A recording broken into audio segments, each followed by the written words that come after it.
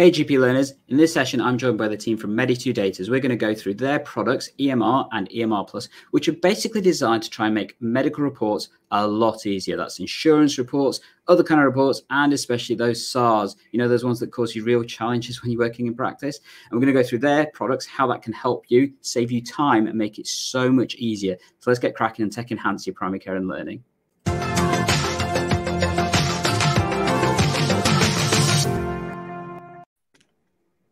Hey, GP learners. So I'm joined right here with Nick and Richard from Medi2Data, and they're going to be talking to us about their EMR platform. But how about letting them introduce themselves first of all? So if I can go first to you, Richard. Yes, hi, good afternoon to everyone. My name is Richard Freeman. I'm founder and chief executive of Medi2Data. Good afternoon, everyone. My name is Nick Freeman, I'm, and I'm head of product for Medi2Data. Awesome. So through this session, we're going to go through what effectively EMR is and EMR Plus as well, the difference between the two. And I know you've got a lovely little announcement that's very relevant to a lot of my followers, which is the SystmOne team, effectively, and how this works for them. But we'll come to that a little bit just in a second. But if I can pass over to you, Richard, tell us about EMR. Thank you, um, and good afternoon again. So EMR has uh, is a free software to allow um, surgeries to uh, create uh, digital subject to access request um, records and also medical reports. Uh, we've been uh, producing and building and enhancing this technology together with clinicians and practice managers for the last three years. Uh, I have to say it's been very frustrating that it is only now that I have a, an announcement to make, which is that I'm very pleased to say that through the, the NHS Digital IM1 program, uh, we have been accredited through the witness testing and we are really looking forward to being able to activate TP uh, practices, TPP practices um, in the next week. Um, and uh, I would, if I may, like to share my screen, which I know is really good news, um, just for, for to show uh, in the preliminary, if during or after this video, you would like to uh, register your interest with respect to activating EMR, uh, then you can do so very simply by uh, going to our website, and I'm just going to bring that up now for you, Dr. Gandalf. There we go. Okay, that's great. And on the website, you come to the home page. Uh, all you need to do is, and we'll come on to EMR Plus later, but just click on EMR. EMR will take you to a page where you can set up. And as I say, if you decide to um, register your interest, you just pick pick, um, click on the TPP and you'll be able to complete a form. Our customer support team will be happy next week and the following weeks to get in contact, arrange in convenient time, and assist you um, with uh, any issues or just assist you with the, the, the process. Um, the activation process should not take you more than about five, six minutes. It's a very, uh, it duplicates um, the, the, the, practice and process that you're used to when engaging with uh, third party uh, partner products uh, through TPP. Um, the only element which is certainly not required when you first activate EMR is that uh, you can add users with their own specific um, permissions, and you can do that certainly after the initial activation. As far as EMR's functions, uh, features, and benefits, uh, I just want to highlight those before Nick takes you through a, a high-level demo of EMR uh, looking how quickly one can uh, redact and produce an insurance report, and also uh, critically, how much time can be saved in, in uh, processing subject to access requests and involving your patient in the process, which I think is really important for us to emphasize. Um, the standard features, just to re-emphasize, we don't offer packages. We offer one service, it encompasses everything, um, and it's completely free to the surgeries. Uh, also, our training and support is completely free. Now, some of you may be sitting there going, well, how does that work? Uh, presumably, Medi2Data needs to pay for the technology, staff, and so forth. So we do need a revenue stream. And uh, we obtain our revenues from those uh, parties that request the information. So uh, it will be insurance companies, it will be the DWP, it will be outsourcers representing government agencies like the MOD, they will pay us a small administration fee that does not in any way influence your GP fees, um, and it doesn't come off your GP fees, and we come on to that. So the standard features, which are free, uh, are the auto redaction features, secure portal access. You can prepare your records before you push them onto patient online access. Uh, you can also uh, op operate a shared services model uh, through multi-site GP sites where the pipeline can be shared with other surgeries and other administration staff members. Uh, you can also have remote working for your GPs or other staff members being able to be off-site and still gain access. It's not just a clinical system, it's also an entire administration system around medical reports. So we will, on your behalf, generate your fee notes because we know what work you've done and, and the fees. And we will then process all of that and send them to the requesting party. We will obtain um, your payment and we will electronically pay your payment. So we will facilitate all of the administration around the payments. Uh, as I mentioned, the setup is very quick, um, as the basic setup will be under five minutes. And for the practice managers uh, and staff members, there's a dashboard in which you are able to navigate and also have sight of your uh, work in progress. What we have been able to achieve to date for um, the EMIS practices that have been using, we've nearly got about a thousand practices that are using EMR. Uh, we have got case studies, which you will find on our website, and we'll be happy, by all means, if you send us an email, we'll be happy to send you more details. But we've been able to deliver the following benefits. So there's been about an 82% in saving uh, in time and direct cost savings, particularly around the SAR, which has been take, you know, has taken surgeries up to a couple of hours to produce. Um, we're now uh, allowing that SAR to be produced in about 15 minutes and there's no need at all to use any postage or burning to a CD and sending on. Uh, that can all be done through uh, authorizing third parties to view the SAR, and most of that work can be done by authorizing the patient. So we've stripped out a lot of the costs. There is specifically about 66% um, saving in time, uh, dependent upon your surgery, but approximately £10,000 per annum can be saved uh, using EMR. Uh, we obviously are uh, been working very hard with surgeries to ensure that we have governance, good governance and GDPR compliance. And that was definitely spent during the years of 2018 into 2019 when we concentrated on the major problem for surgeries, which was the fact that surgeries were no longer going to be paid for producing SAR, copy of SAR records. And so we, our technology concentrated very much so on that particular feature, which Nick will be able to show you. Uh, GPs can sign off reports that have been pre-prepared by the surgery and they can do that remotely. As I mentioned, it operates within a shared service model, which is great for our EMR Plus service, which we'll come on to. And it absolutely will assist you in uh, adhering or, or, or, participating in the NHS directives around patient online access and digitization. And again, uh, EMR is completely free. I'm going to stop sharing now and uh, ask Nick to take you through a demo of EMR and its features, and then we'll come back and, and uh, either answer any questions at that time or we'll move on to our EMR Plus service. Thank you. Brilliant. Thank you, Richard.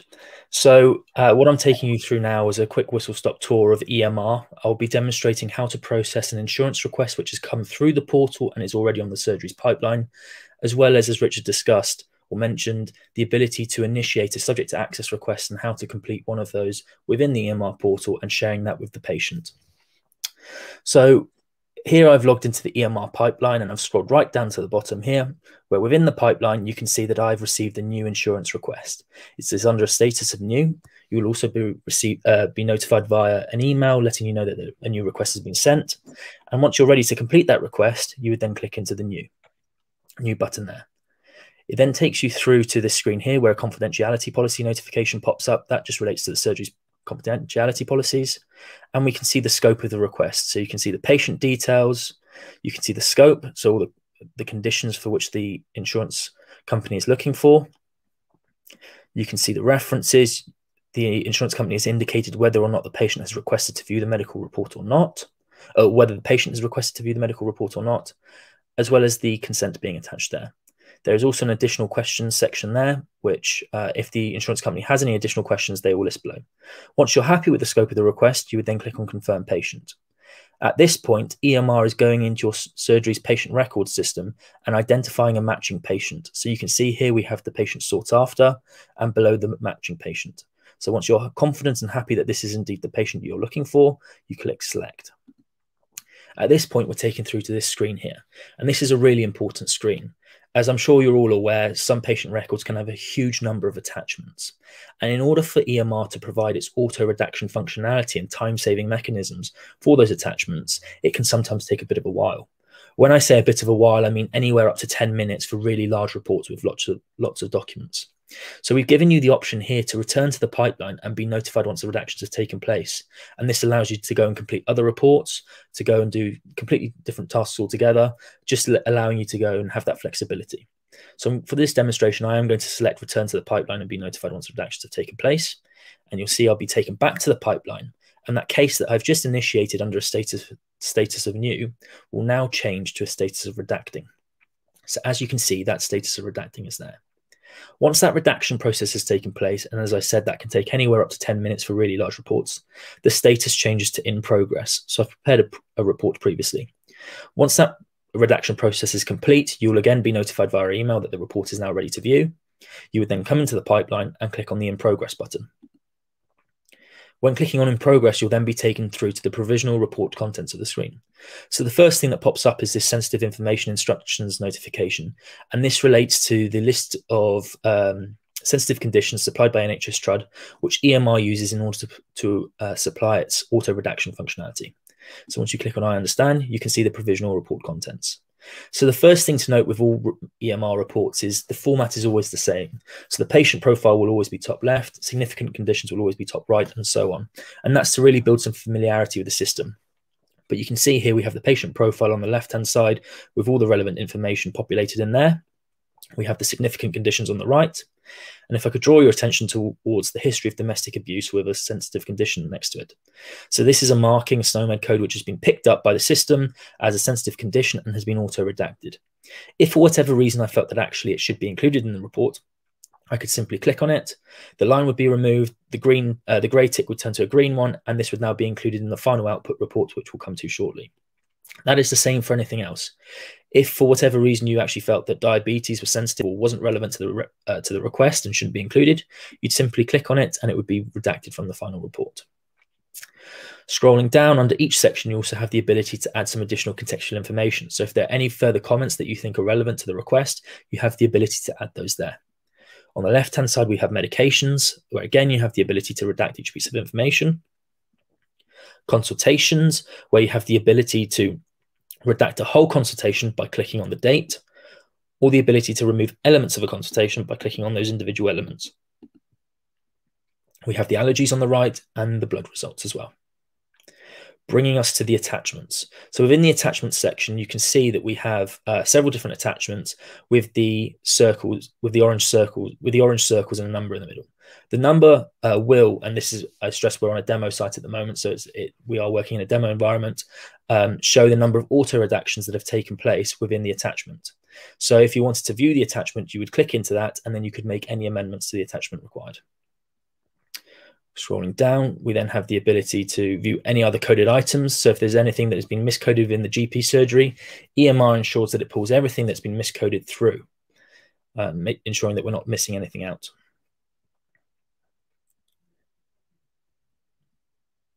TPP practices.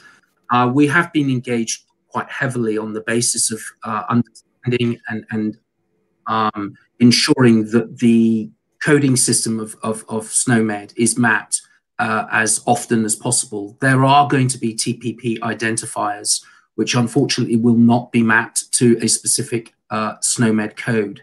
In those instances, it will be flagged on this screen as to those entries that have not been matched to a, uh, to a, a SNOMED code, allowing you the opportunity to include or exclude in the report. So that is something specific that we have programmed and engineered into uh, the production of the reports for TPP practices. Great, thank you, Richard. And as we go through the report, we also have referrals at the bottom. We have a suggested items to add section. So these are any potential consultations which need to be added and you can click into the sections and decide whether actually they are relevant to this specific condition or not. And once happy with the report, at the bottom we would have the additional questions, which in this case there aren't any. You then have the ability to preview and submit. So at this point, EMR is taking into consideration all of the amendments that you have made to the provisional report contents and finalizing that into a final output report. So as you can see here on the right-hand side, we have the final medical report. So this is where all the information is. We've got the patient profile.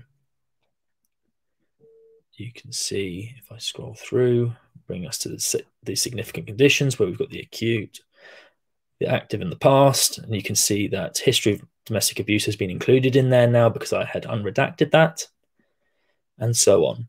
Once you're happy with the report, you'd scroll down to the bottom you would then accept that a metadata Exchange cannot be held responsible for the contents of the report, that you are indeed happy with what you are signing off. And once happy, you would click on Submit. At this point, when you click on Proceed, we're then taken back to the pipeline, and that instruction has entered a status of finalizing. So at this point, what we're now doing is we're taking that report and making it available to the instructing agent while also processing all of the invoices and payments on your behalf so that you don't have to do anything at all. And that is the insurance report. What I'm now going to show you is how to initiate a subject to access request, which in many cases you would receive as a paper-based copy or an email to the GP surgery asking you for a copy of the medical records.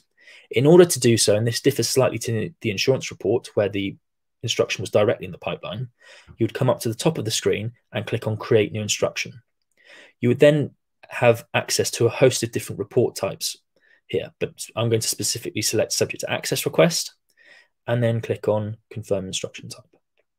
You're then again taken through to the confidentiality policy notification and are requested to enter some patient details. So I'm going to be using our dummy patients today. We require the name, date of birth, and address. So that's done Nick, by... if I Nick, if I may, while you're doing that, just to give you a chance. Um, so to be clear, um, there are two ways in which TPP practices can receive instructions and process, either directly from the requesting agent using the EMR portal, which will take the instruction and deliver it straight into your pipeline, and you will, uh, as a practice, get emails to whoever, whichever parties you would like to be uh, notified of the of the uh, instruction pending. And the second way is if you receive any paper instructions coming through uh, the post or via or emails, then you can, as is being um, illustrated here, you can go ahead and process that instruction through the system as well. So it should cater for all eventualities around those instructions. Thank you. Great. So once the patient details have been entered, you then have the ability to enter a date range. Some subject to access requests will request the full medical records. Other may provide a date range for which they would like the information for. And once you're happy with that, in this case, I'm going to do a full medical records. You click on submit. At this point, again, we're trying to find the matching patient. So you can see here, we've gone into this surgery's patient records, found a matching patient. I'm happy that this is indeed the correct patient and selected that option. Now, slightly different to the previous process, we then come through to this screen, and this is specific to subject access requests. As Richard touched upon at the very beginning, we want to create the ability for GP surgeries to share that those patient records with the G with the patients in a in a GDPR compliant and electronic way. So you have the ability here to select who you'd like to share the records with, either direct to the patient or return to a third party. In this case, I'm going to select direct to the patient, and in order to do so, we need the email address which if in the patient records will be auto-populated, and the phone number.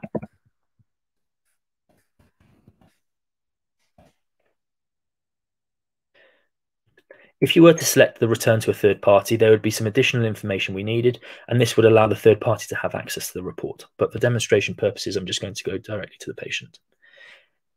At this point, it's an optional uh, se section here as to whether you would like to upload the consent form that has been sent to the GP surgery attached to the request. This is this again is an optional uh, step as you are the data processor and controller. However, uh, in this case, I'm not going to do that. I'm going to click on proceed. And again, we come through to this screen where you have the ability to continue working on the report or return to the pipeline and be notified once the redactions have taken place. Again, I'm going to do that and will be taken back to the pipeline where the subject to access request will enter, enter a status of redacting.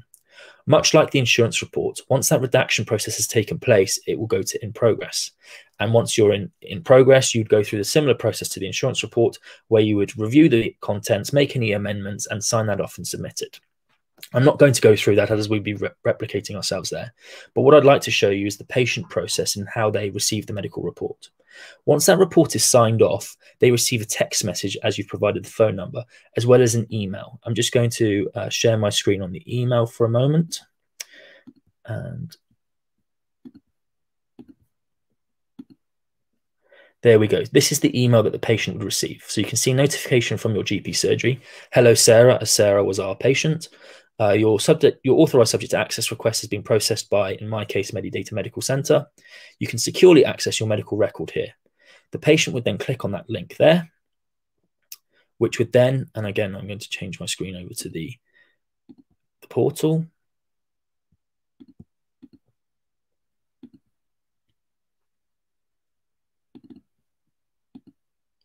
which would then take the patient to this link here. At this point, the patient has entered our uh, EMR patient portal and has the ability to request a code. So what we're doing here is we are um, doing a dual factor authentication process to ensure that the patient is who they say they are, which I've just received now. So I'm entering the code 250 uh, 454. I can then access the report. The patient has some terms and conditions to sign off. And once they accept those, they come through to the patient portal where they have four options. They have the ability to view the report, the ability to download the report, print the report, and authorize a third party. So, what a lot of GP surgeries who are using EMR now are doing is instead of authorizing the report to go directly back to the third party or the solicitor who's requesting the medical information in the first place, they're sharing the subject to access request with the patient initially, and the patient has a really secure and easy mechanism to share with a third party within the within the portal by author, authorizing a third party entering the details and providing access to that third party for a time period of 30 days. And that is uh, just a whistle stop demonstration of EMR and its functionality. Thank you. Thank you, Nick. Um, and, and, that was really good quality in terms of the functionalities and stuff. Um, I guess I'm going to ask you a couple of quick questions on EMR now, if that's all right, just because I'm aware that these may come through from the chat. And then we'll go through to talk at how EMR Plus potentially may add uh, to the kind of offering that you've got. I guess, but the main question I just did want to ask, obviously, that deals with stuff that's in the electronic records. Obviously, patients have physical records as well. Hopefully, in the next year or two, that will change with the digitization of records and make this whole process seamless and electronic. But for those patients where there is still a physical record, how will that work with your system for EMR and stuff? Nick? Y yes. So with the uh, physical records, often the Lloyd George records, uh, what what we suggest to our GP surgeries currently utilizing EMR is that they have the ability to um, to upload this as attachments within the patient records, and we will actually provide the auto redaction functionality using OCR on those Lloyd George records, uh, mm-hmm. so that they can be processed as part of the subject access request or the wider or the wider insurance report. However, at this moment in time, that would obviously require the individual to scan the Lloyd George records and include them as attachments within the patient record. Um, so it, it's a difficult process with the full with the paper records because obviously there is a digitization required there. True. I guess the flip side of that, though, is that if they were doing the SARS or, or that kind of stuff anyway, they'd be doing that work anyway because that's kind exactly. of the only way to, to, to process it and stuff. And so um, I guess hopefully once that's done, it's done once for that patient. Um, obviously, as I said, the digitization of records is due to happen in the background. That practices, I know some places are going through the pilots right now. Some places have already gone through it, and some practices will obviously be heading towards that in the next year or so. That will deal with the whole bulk of the patient records.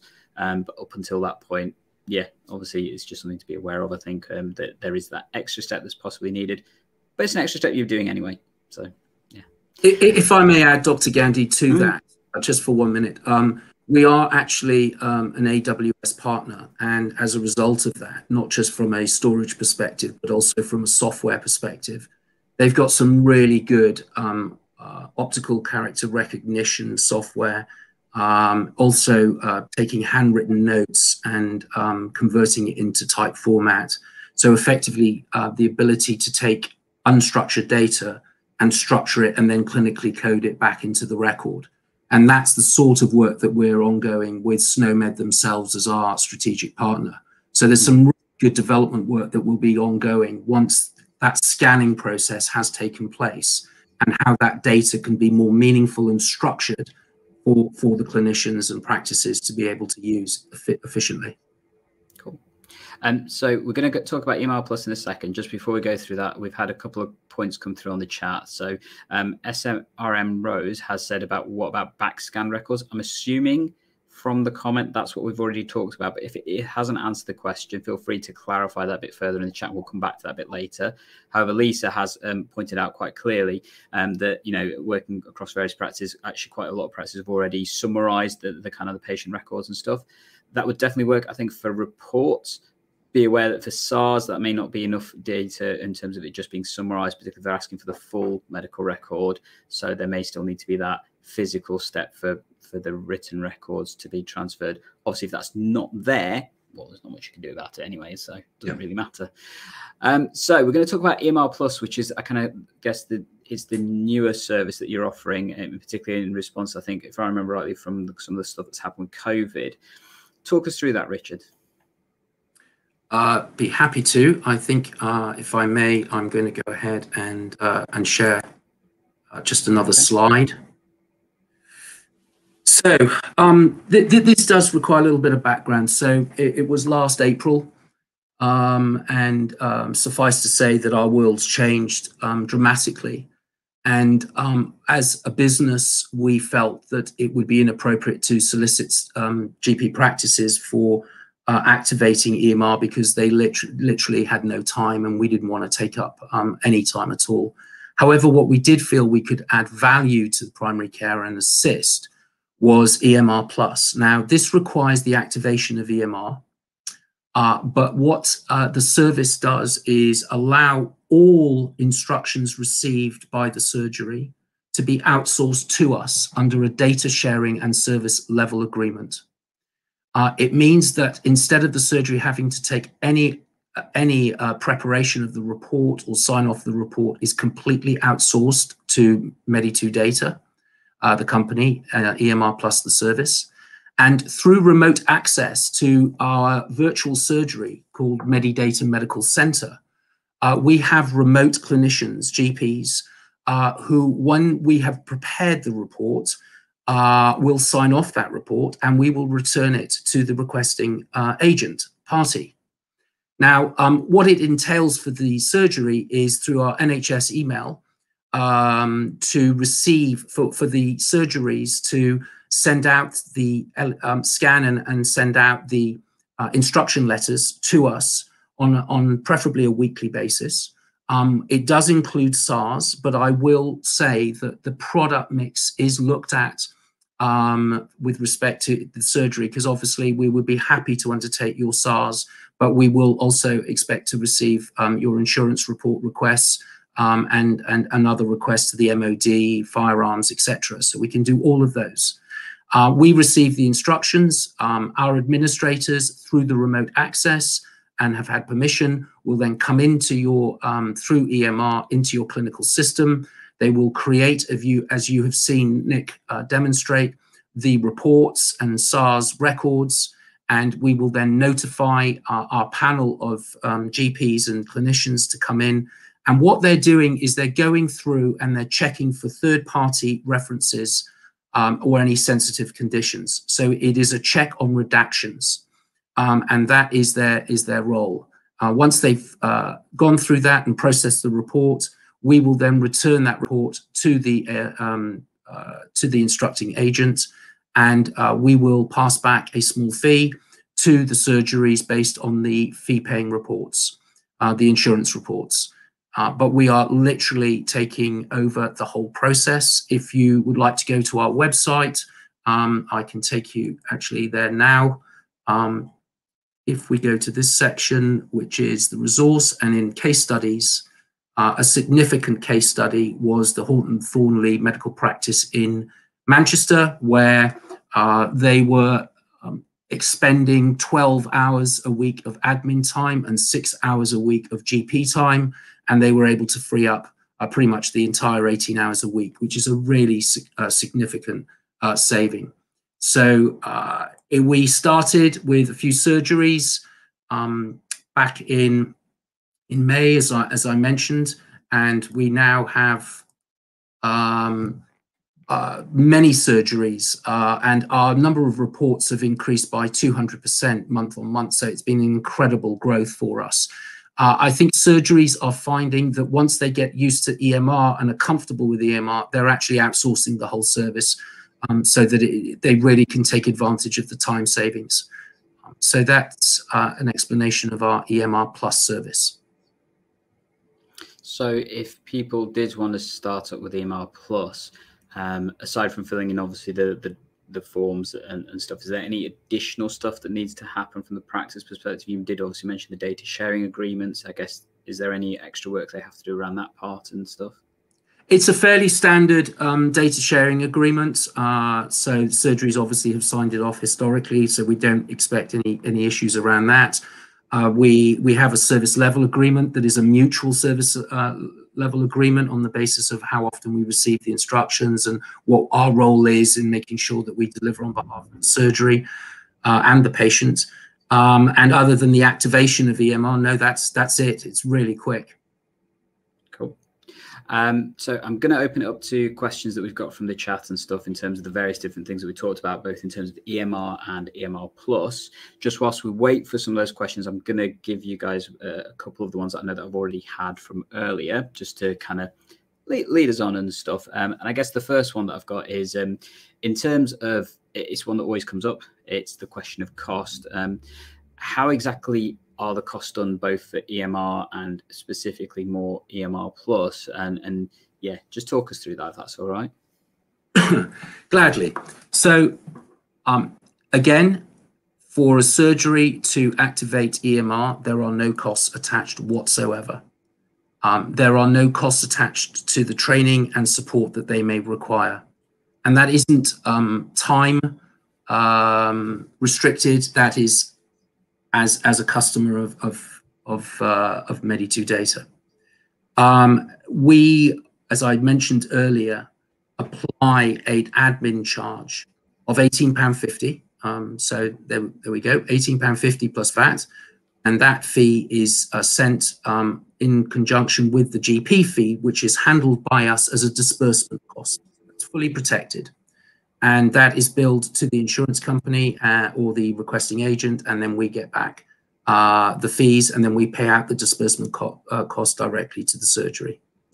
Um, with respect to the EMR Plus, it's slightly different. So we're effectively on, um, as the entity, the third-party administrator, we're generating our own fee, and we agree with the surgeries for the insurance reports, a small fee in return uh, that they get the main positive from the EMR Plus, and there's no cost to the EMR Plus service at all. Um, so it's a free service. We we will bill um, the re requesting parties when it's appropriate to do so. We pay a small fee out to the surgery for the insurance reports, um, and we handle all the billing and everything else um, on top. So uh, that, that's important. All the admin is completely. Cool. Uh, may have just temporarily lost Richard. Oh no, we've got him back there. There we are. Um, thank you for that, Richard. I guess if I'm going to ask you, push you for an example. So if we were using EMR uh, Plus, and say, for example, it was a report that was uh, the practice would normally charge for, for roundness of numbers, let's say £100 for um, a medical report, for example. Can you give us an idea of kind of the, the what the practice would expect to see if they're using the EMR Plus service for that particular report? Uh, yes. Um, so, I mean, commercials usually are done in discussion direct with the surgery, but as a, as a, as a sort of a, a high level um, approach, we would pay the surgery £10 uh, from that um, as a, a fee. Uh, I must stress that if you work out uh, from that £100 actually what the surgery would be making if they were doing that task um, themselves, um, actually that £10 goes a long way to, to almost a clear uh, revenue without costs uh, as opposed to incurring the costs against it. So, um, but that, that's what in the example you've given, that hundred pounds would, would would generate a ten pound fee back to to the surgery. I, I, think if I may, Dr. Gandalf, just another mm -hmm. really important factor with that is, you know, when we're talking about the EMR Plus service, the fully outsourced service, it's for all report types. So you send us your subject to access requests, your your DWP, DVLA, MOD requests. We'll do all of them, and a lot of them don't have a fee associated with them. Yeah. So that it's the way the commercial agreement works is it's ten pound a report uh, per fee paying report. So any fees, any reports that would usually conduct a fee, there is a ten pound kickback to the surgery, and all you have to do is hand us over the report, and we will do it on your behalf. Mm-hmm. I, I, I, therefore want to add again, if I may, it's really important that there's an element of trust here between us because it is a free a free service, and we're doing that um, obviously we will be monitoring the number of SARS as an example versus some of the fee paying reports so that we have the right balance. And we'll work with the surgery to ensure that that, that happens over time. And I guess looking at that from a partner perspective, obviously me as a GP partner and a time productivity perspective, you know, um, I would say that right now, obviously the clinical workload and demand is crazy you know? We're in uh, so we're filming this on the date 19th of may you know um, things are bonkers at times when it comes to clinical demand and things. And i think you know having a service that can take away some of those additional pressures from the practice absolutely useful and effective. I know as a partner coming down to do reports and that kind of stuff it's one of the more frustrating parts of my workload because it can sometimes take quite significant amount of time and you know at times we are having to pay for locums to cover the clinical workload because i'm busy doing other stuff. And actually, if I wasn't doing that stuff, how much more efficiency would the practice have in terms of patient-facing services um, and you know other potential costs that they could save on? So, you know, um, I know sometimes some people get, get bogged down on the costs. And I know I pushed you both for that deliberately so that we've got a bit more clarity. But actually, is that a bad thing? Absolutely not, in my view. You know, it's about trying to have more efficiency within the practice as well that therefore allows you to do work more effectively and particularly the, the work that we're paid to do, which is you know the, the patient facing stuff and that kind of thing. So I, I, think you know that still represents good value in terms of how the practice will function in terms of the longer term and stuff. So yeah, the the the, if, the, the, the other element that, yeah sorry I, I didn't mean to talk over you but the, the other element is we we we launched this as a flexible service it's a switch on switch off mm-hmm. So I don't want anyone to out there to think that they're beholden upon uh, contract terms and, and so forth. It's a very flexible service. But what's really interesting is over the 12 month period, what was deemed uh, or, or um, regarded as a temporary service that surgeries would take advantage of and then bring back the work in house, a minute number of surgeries have brought it back into house. So um, if anyone wants to try it, see what impact it has. Um, are still happier to bring it back in after that experience. There's total flexibility to do so. Uh, but the suggestion is that actually it may become a term relationship, um, which works for both parties really well. Cool. So I guess next question I had, um, from your perspective, obviously you guys have created this, you know, you run it and, and stuff. W what do you see as that unique thing that sets you out from, I guess, other people that are doing similar sort of stuff, eh, you know, across the practices, uh, you know, and an area and that kind of stuff? You know, what's the USP from your perspective?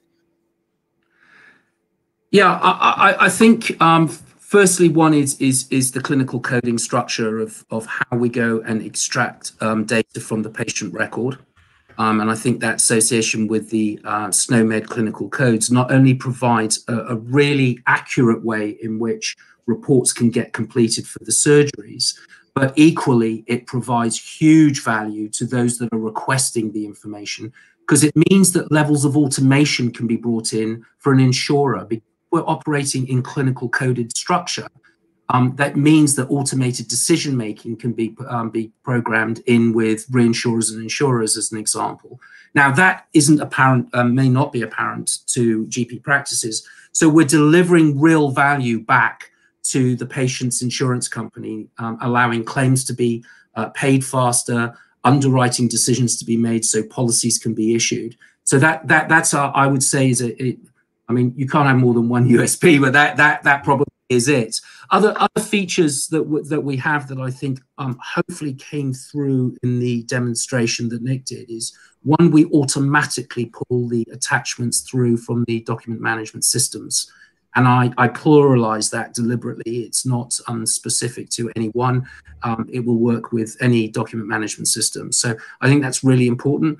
I think, secondly, bandwidth and system um, integrity and, and um, stability is really important. So large SARS records can be processed in the background. We've got huge servers that are operating in the AWS environment that are allowing that functionality and durability um, to, to, to, be processed without disturbing other tasks that can be done. Um, we, we're not just a clinical tool. We also, you probably glean from my um, explanations and descriptions that we're an administrative tool too. So we take away some of the back office um, well, quite a lot of the back office uh, pain with respect to issuing fee notes, chasing the money, uh, doing the reconciliations. All of that will be done through the EMR uh, technology for you. Um, and as I said, automated payments will be made into the bank accounts. Um, so those those are are a few. Um, Nick, have I have I missed anything out there? Yeah, I, I think maybe just a comment regarding the SNOMED codes. Not only does the SNOMED coding allow great benefit to the, the requesting agent, the insurance companies, but it also allows us to automate much of the task on behalf of the GP surgery.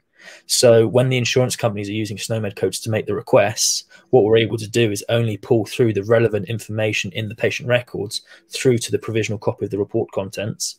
And then the, the GPs or administrators within the surgery are only viewing the, the relevant medical information as opposed to identifying which information is relevant to the request.